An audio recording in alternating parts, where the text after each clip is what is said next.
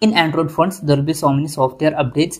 If you want to update your phone software automatically, you can set that. After that, you don't need to look for software updates. Software update will take place automatically and it will be installed automatically. Anyways, for this, you need to change some settings.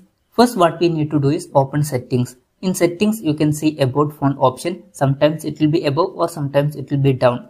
I am using Poco smartphone. In my case, it is above. Click on about phone and when you're clicking on that here you can see MIUI version. And in some phone it will be software. Anyways click on that.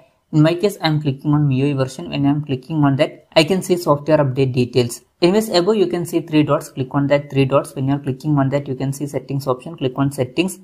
If you want to set automatic download what you need to do is first you need to turn on download automatically. After that down here you can see download using mobile data. If you want you can turn that on. What that means is that software update will take place using mobile data. If you want to take place it using Wi-Fi, you can turn this off or if you want mobile data, you can turn this on.